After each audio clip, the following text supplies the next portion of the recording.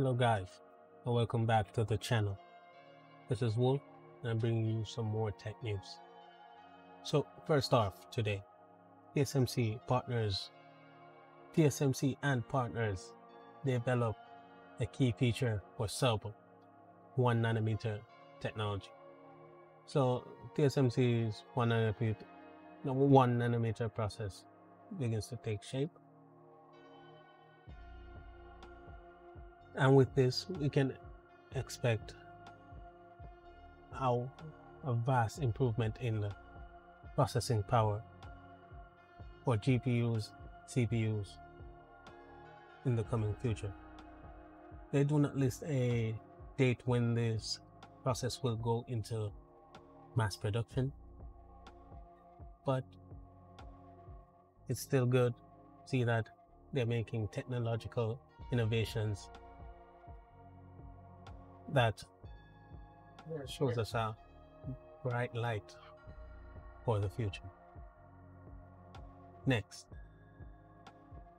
Snap acquires an AR startup Wave Optics, which provides tech for spectacles for 500 million dollars. So, this startup you might see the the design of the glasses. You, you can see that it's something someone would never wear in a million years because the design is bulky and uh, looks like something from way back into the 90s. But the tech is real and they actually have working versions of this glass, albeit very prototype stage you can see some AR effects. Next, a little bit of gaming related news. A 20 year old Xbox Easter egg has been really revealed, and uh, there may still be more. What this if you guys are interested in knowing what this Easter egg is, You can check the link in the description to read more. On to the next story. Google Pixel 6 Pro pictured with a curved OLED screen and three rear cameras. Well, I added this in hmm. thinking it thinking it add, added more to the leaks that I previously reported on, but now. Oh, okay, here's some more information. So, on the high end model, we would have a 90. We would expect a 9 Hz or 120 Hz refresh rate. So, it's come uh, has LED flash, which is standard, nothing new. Will come with a 6.67 inch curved screen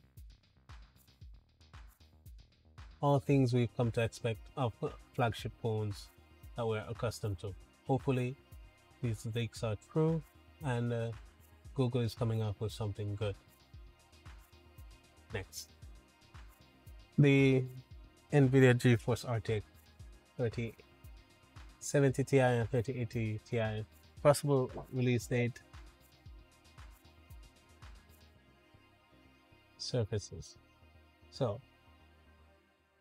release date for these cards are are expected to be by the end of this month month early June. So the 3080 Ti specifically is expected to be released on June 3rd of 2021 right here.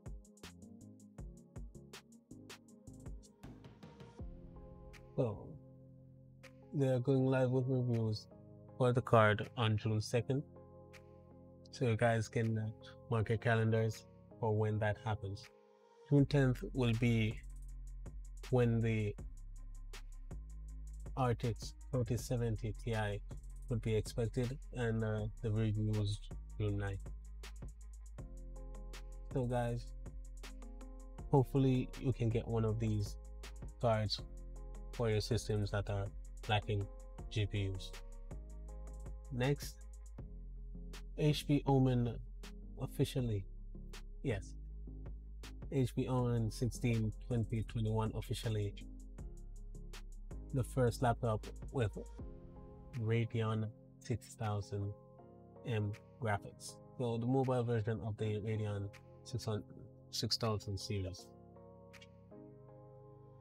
So it's going to feature an Ryzen 9 5900HX CPU with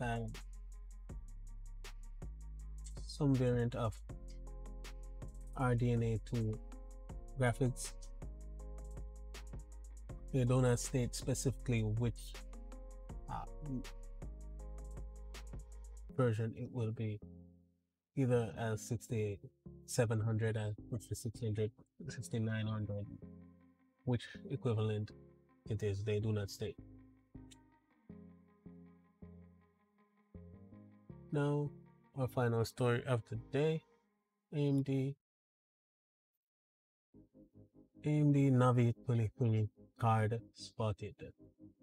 So, OEM, OEM card, possibly RX 5600 XT spy. So, this image with Radeon Navi 23 XT 8 gigabyte GDDR6 on the back of it, you can see that this might not be the original card because why would they put Radeon Navi 23 here instead of the actual name of the card that is going to be called when it's released. I.e you know 6600 or uh, 6500 one of those names. So that that alone makes me a bit skeptical about this leak, but